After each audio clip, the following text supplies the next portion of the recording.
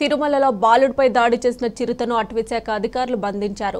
రెండు రెండు రోజుల క్రితం అల్లిపిరి నడక మార్గంలో బాలుడిపై దాడి చేసిన చిరుత తీవ్రంగా గాయపరిచింది. దీంతో రంగంలోకి దిగిన అటవీశాఖ అధికారులు ఆ ప్రాంతంలో నూట యాభై సీసీ కెమెరాలు ఏర్పాటు చేసి చిరుత కదలికలపై నిఘా పెట్టారు.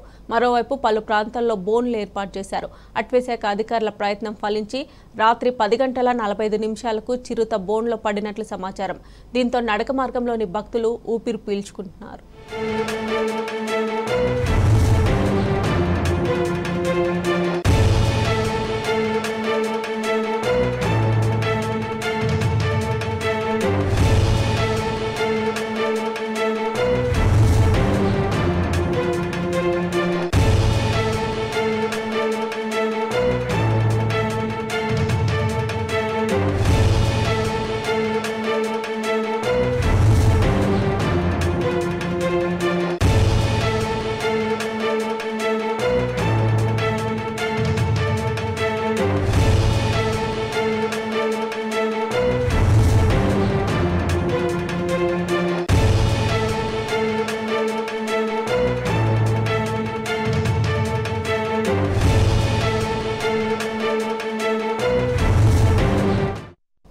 ఇదే అంశంపై మరింత సమాచారం మా ప్రతినిధి దినేష్ అందజేస్తారు.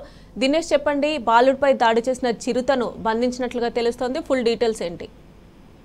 గ- గత రాత్రి అర్ధరాత్రి ప- పది నలభై ఐదుకి చిరుతపురిని బోన్లో చిక్కింది. మొన్న- కాలి కాలినడక మార్గంలో బాలుడిపై చిరుత దాడి చేసిన విషయం అందరికీ తెలిసిన విషయమే. బాలుడు బాలుడు క్షేమంగా ఉన్నాడు. నేను హాస్పిటల్లో కూడా అతనికి ప్రాణాపాయం ఏమీ లేదని తెలిసింది. రాత్రి పది నలభై ఐదుకి బోన్లో చిక్కింది Mamata. Right Dinesh thanks for updates